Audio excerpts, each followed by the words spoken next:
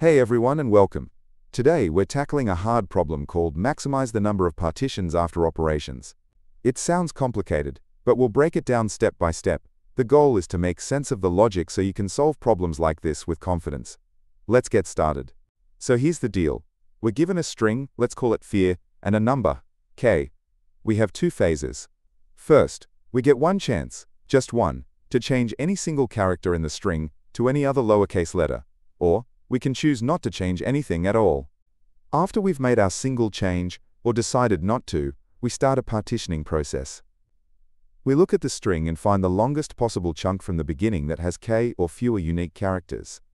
We slice that chunk off and call it one partition. Then we do the exact same thing with the remaining part of the string, and so on, until nothing's left.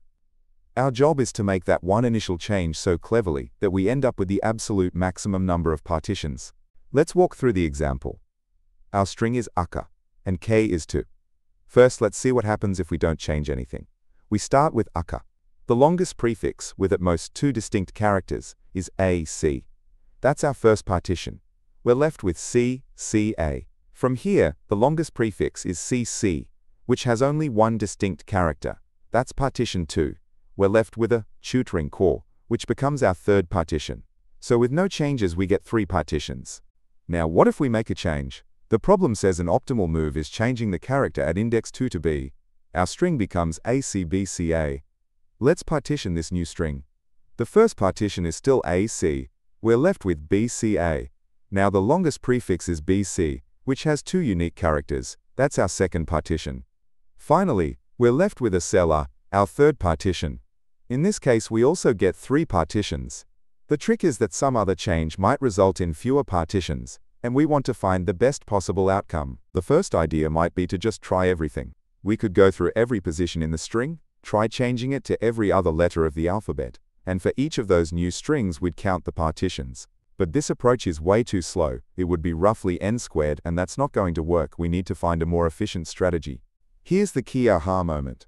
When we change a character at some position, let's call it index i. This change doesn't affect the partitions that came before it. Those are already locked in. The same goes for the partitions far after it. The change really only impacts the partition that the character at index i belongs to, and maybe, just maybe, it could cause it to merge with its neighbors.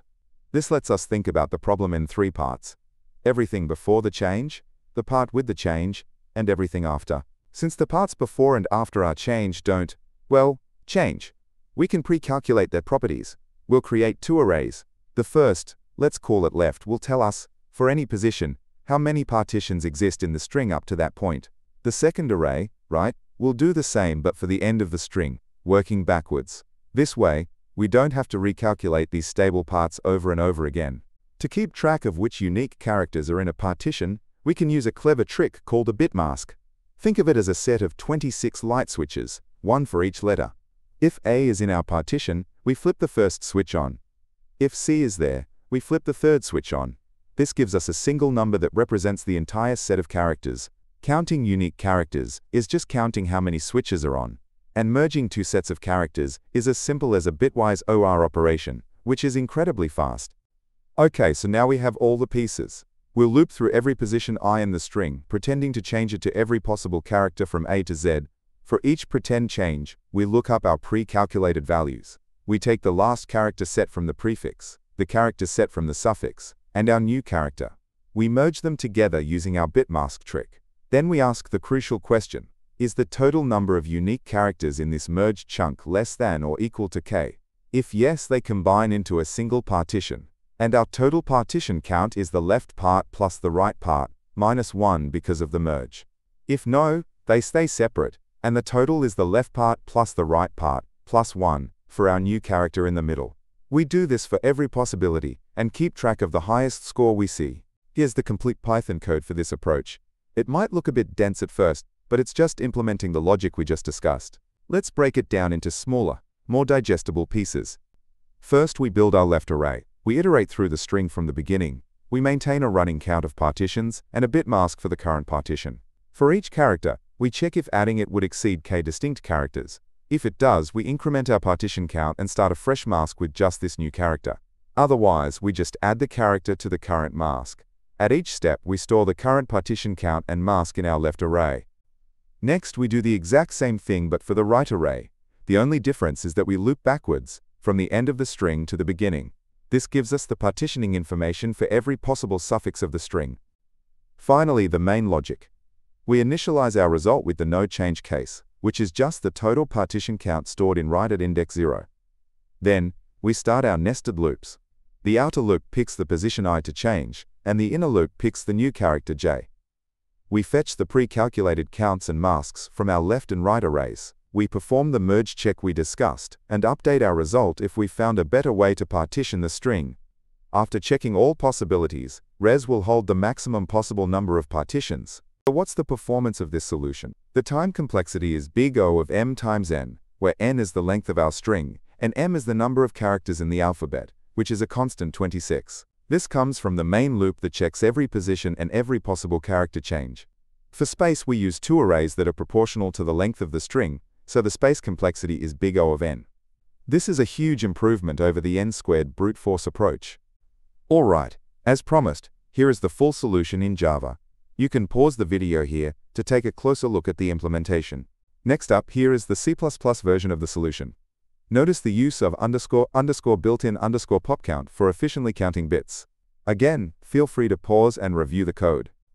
And finally, here is the solution in JavaScript. Hopefully seeing it in a few different languages helps solidify the concepts. So let's wrap it up. The big lesson here is to look for ways to avoid redoing work. The brute force solution was slow because it recalculated everything from scratch for every single change.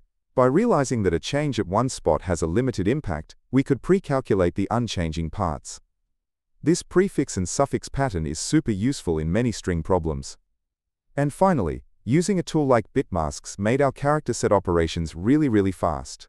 If you enjoyed this problem and want to keep practicing, the learning doesn't have to stop here. I've organized all my video solutions into handy playlists.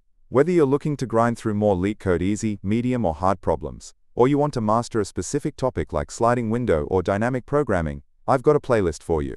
It's the perfect way to focus your study sessions. Go to the Playlist tab and find a playlist that fits your goals. Also, if you're looking for even more LeetCode problems beyond the daily challenge, I've started a second channel called LeetCode Unlocked. It's where I'll be posting solutions to a ton of other problems, so if you're serious about your interview prep, be sure to check it out. The link is in the description below. Hope this LeetCode solution breakdown made sense. If it helped, give that like button a click, maybe subscribe for more, or drop a comment if you have questions. Make sure to turn on the notification bell so you know straight away when I upload a video, because I upload videos daily. This channel doesn't make any money from sponsorships or ads yet, so if you're feeling generous, there's always the Boba Fund. Keep coding, and I'll catch you in the next one.